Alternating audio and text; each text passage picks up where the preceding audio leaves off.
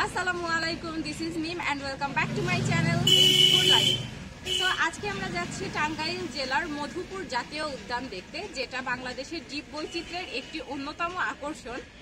তো চলেন দেখে আসি মধুপুর জাতীয় উদ্যান।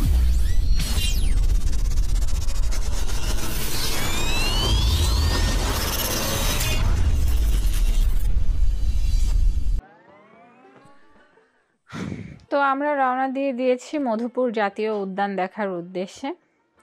বরাবরের মতো দেখতে পাচ্ছেন আমরা এখন হাইওয়েতে আছি। আজকের দিনেও আমরা খুব সকাল সকাল রওনা দিয়ে দিয়েছি সকালের নাস্তা করে আটটা সাড়ে আটটার মধ্যে।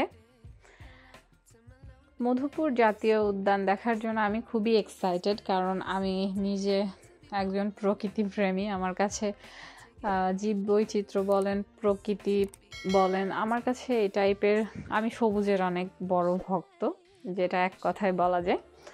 তো চলেন যাই মধুপুর জাতীয় উদ্যানের উদ্দেশ্যে, গিয়ে কথা হবে। দেখতে পাচ্ছেন আমরা পৌঁছে গিয়েছি মধুপুর জাতীয় উদ্যানে। তো চলেন জাতীয় উদ্যানটি ঘুরে দেখতে দেখতে, জাতীয় উদ্যান সম্পর্কে আমরা একটু বিস্তারিত জেনে নিই। মধুপুর জাতীয় উদ্যান বাংলাদেশের জীববৈচিত্র্যের অন্যতম আকর্ষণ। মধুপুর জাতীয় উদ্যান ঢাকা থেকে প্রায় একশো পঁচিশ কিলোমিটার দূরত্বে টাঙ্গাইলের মধুপুর উপজেলায় অবস্থিত। টাঙ্গাইল জেলা থেকে মধুপুর উদ্যানের দূরত্ব প্রায় সাতচল্লিশ কিলোমিটার। শালগাছ ওই বনের প্রধান আকর্ষণ এবং ধারণা করা হয় এই বনাঞ্চল কয়েকশো বছরের পুরাতন। মধুপুর জাতীয় উদ্যানটি উনিশশো বাষট্টি সালে বন বিভাগের আওতাধীনে আসে এবং উনিশশো চুয়াত্তর সালে বন্যপ্রাণী আইনের অধীনে বাংলাদেশ সরকার উনিশশো সালে মধুপুর বনকে জাতীয় উদ্যান হিসেবে স্বীকৃতি প্রদান করে। জাতীয় মধুপুর উদ্যানে আয়তন প্রায় চুরাশি হাজার তিনশো ছেষট্টি হেক্টর। উদ্যানের পাশ দিয়ে বয়ে চলেছে বংশী নদী। উদ্যানকে দিয়েছে এক ভিন্ন মাত্রার সৌন্দর্য। জাতীয় এই উদ্যানের ভেতরে এবং বাইরে মিলে দেখা যায় গারো, কোচ বানম সহ বিভিন্ন ধরনের আদিবাসী সম্প্রদায়ের।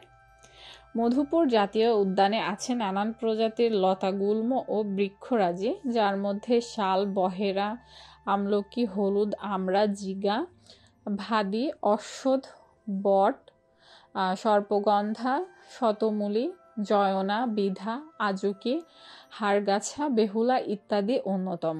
সবুজ অরণ্যের প্রাকৃতিক দৃশ্যের পাশাপাশি মধুপুর জাতীয় উদ্যানে আছে প্রায় এগারো প্রজাতির স্তন্যপায়ী প্রাণী, সাত প্রজাতির সরীসৃপ প্রাণী, চার প্রজাতির উভচর প্রাণী এবং আটত্রিশ প্রজাতির পাখি। এর মধ্যে মুখ পোড়া হনুমান চিত্রা হরিণ, মায়া হরিণ, প্যাঁচা কাঠ ময়ূর বন মোরগ, লালমুখ বানর, বন্য শুকর সহ ইত্যাদি বিশেষভাবে উল্লেখযোগ্য।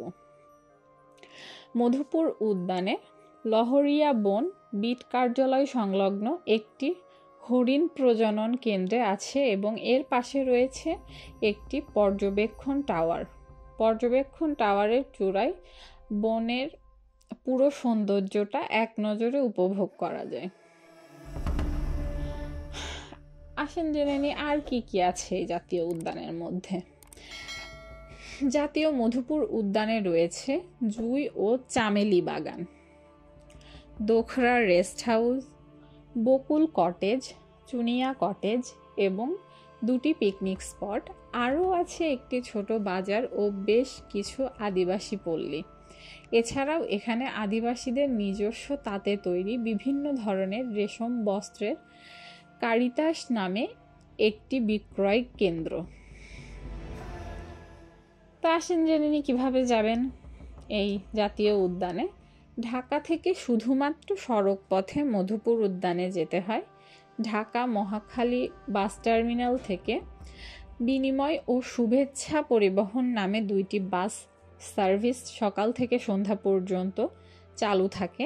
এটি, এই দুটি পরিবহনের ভাড়া জনপ্রতি মোটামুটি আড়াইশো থেকে তিনশো টাকার মতো পড়বে।